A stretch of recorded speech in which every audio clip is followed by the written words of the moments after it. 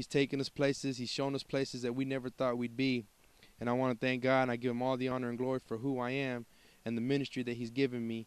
So I just dare you to just try God once and I promise you you won't never go back. Yeah. What I bring is not is not is not, is not a religion.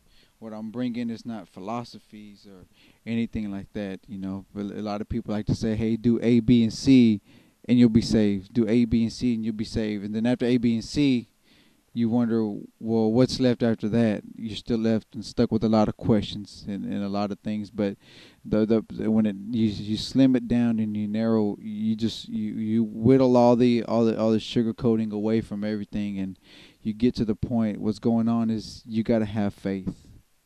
You know, a lot of people try to try to put God in a box and have God figure it out and say, okay, this is God, this is God, this is God. But you know what? God can't be figured out you know, a lot of people they they get interviewed and they're like, you know, they try and give answers, but the thing is, we don't have all the answers.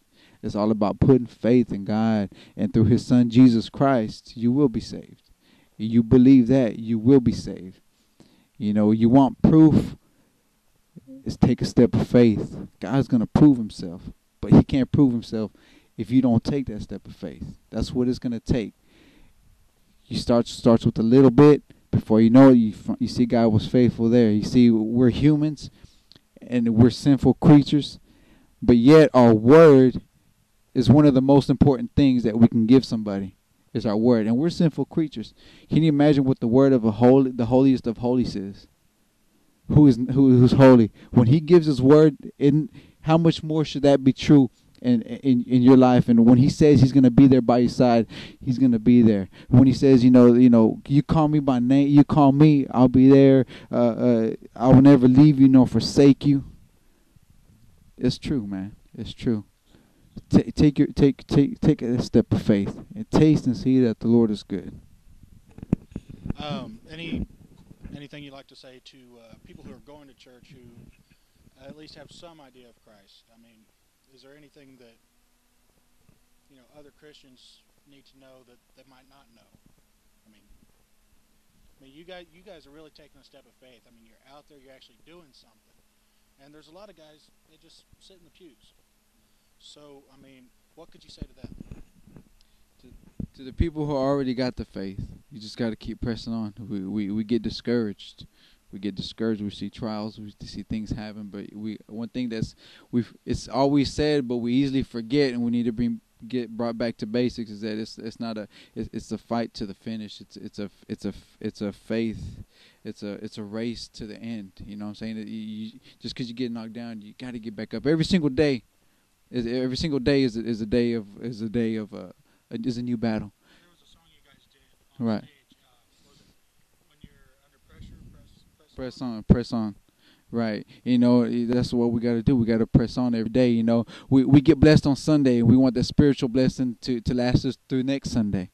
But, you know, yesterday's gone. Tomorrow's not promised to no man. So today is the day of salvation. So every day you wake up, you ask God to help me. Help me. You helped me this day. You helped me yesterday. Cool.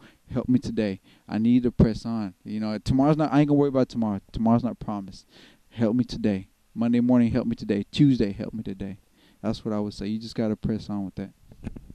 Um, what I'd like to say is, is for, for, for a lot of Christians out there, I think the hardest part about a Christian is is staying focused on, on not messing up and, and, and, and concentrating so much on not doing something wrong because you don't want to relation you don't want to mess up that relationship you have with Christ. My best advice for you is to find someone that you're close to that you know is grounded in the Word, is grounded in God, is grounded in church, so that you can be accountable to. You know, you got you got to have someone that, that, that when you're gonna when you're when you're caught slipping or you're stepping away, not someone's gonna condemn you and put you down and tear you apart because you did you committed a sin. Because you know what, God isn't looking at how many times you fall. God's looking to see how many times you're gonna get back up and finish the race. You know, you got to find someone you can be accountable to. Uh, for instance, you know, me and Heata, we travel a lot. Um, other than just being uh, buddies in the music industry, you know, we're, we're best friends. And you know what? When I get when I'm when I'm slipping or when Heata's slipping, you know what? We have the relationship to say, you know what, he, you know, hey, bro, you know what, let's let's let's pray, let's do this, let's do that. You know, you got to have someone that can look, they can look at you and say that that knows you well enough to say, you know what, this this guy's been missing service way too many times. I need to call him up and say, hey, what's going on? Get back, get back up here. Let's let's pray. that's getting it together. So my best advice to you is to find someone you can be accountable to, whether it's a pastor, a youth pastor, a friend. Just make sure that, that whoever you're going to be accountable to is, is grounded in the Word and grounded in Christ. I know you guys said you was independent, but you kind of come together. Um, there was a couple other guys. Um, you want to tell me about them? If you, I mean, don't step on anybody's toes. No, that's cool. Nate G, man, Nate G was the one who was ripping it, ripping it up with us up there. You know, he did his he he did the press on, and he did a, new track that we're all working on together. And he wanted to do another song that was called "Leaning to the Side," but we had to cut it short because time was uh, uh, short for us up there. But uh, Nate G, man, he's he's grinding. He's working on his stuff. He's kind of stayed quiet, lay low a little bit. But Nate G, you know what I'm saying? If you go to my MySpace, he's on my top eight. Him and Phildawg as well. Phildawg is one of the guys who usually travels with us, but he couldn't make it. He's working. And you know what I'm saying? He's the one dropping a lot of the beats for us, you know what I'm saying? He's behind the scenes a lot, you know, and that's where he's anointed at. But he steps up there and he rips it just like the rest of us, man, and he represents. But Nate G was up here, you know, be looking out. He's gonna be dropping that that, that hot stuff on you, man. Check it out. Uh, you guys got anything else planned soon? Are you going to be in the Dallas area, stepping outside of it, you know, reaching, or um, what? What's your next event, or do you have anything scheduled? Uh, we do have something coming up December the sixth. It's a benefit concert to to help out some of the less fortunate uh, kids out there. You know, to help them with some clothing, with some Christmas. You know, so many times we go through the holidays, you know, thinking about our families and ourselves but you know what? I think it's time for us as Christians to show the love that Christ has for us and step out of that box and and get out of that comfort zone and begin to bless other people. When you can walk up to someone that you don't know, walk walk walk up to someone that you've never met before and bless them in a way that that I may not know what they need, but you know, but when Christ puts it in your heart and, and just and just puts that that need in your heart and you walk up to that person and you bless them with something that they really need and then you let them know, you know what, God put this in my heart to do for you, and, and they look at that and they know that's real, that's genuine. So this benefit concert that's coming up on December the sixth, um, I'll let Heata get more into details as far as addresses and everything. But if you want to be a sponsor, if you want to help us out, you know, help us put some clothes, put some toys under a tree, you know, we're look we're looking for the sponsorship. We're looking for some help for anybody out there. And I'll go ahead and let Heata get more into detail. Yeah, let, let, me let me get into detail. Just play with you. What's called? Yeah, we got the Heata's uh, second annual Christmas benefit uh, concert and toy drive.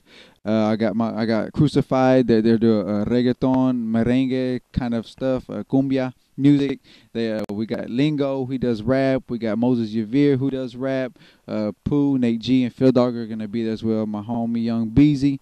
You know what I'm saying? What it is is uh, we're, we're a ministry. Uh, we're doing this uh, to to donate toys to kids who, uh, to families who, who can't afford to give to their kids, or you know, we like I said, we got one that's uh, we you know we got we it's it's just gonna be on December 6th. It's gonna be in Garland, Texas. Um, starts at 7 p.m. You got three dollars to come in, or a new unwrapped toy is the admission. Um, and we'll be raffling off an iPod Nano, uh, fourth generation, for ten dollars. We got tickets. You go to my MySpace to check out more information. MySpace T H A H E A T A. But the toys are to benefit um, families who want to bless their kids with toys. Uh, the name of the place is called the Exit Warehouse. I'm not sure, I don't know the address, but if you go to my MySpace, it'll be there. Uh, MySpace forward slash the Heata, T H A H E A T A. Um, we got the address there, but it'll be at 7 o'clock, December 6th, at the Exit Warehouse in Garland. Uh, Heata, I want to thank you. And it's Pooh, right? Yeah. Okay.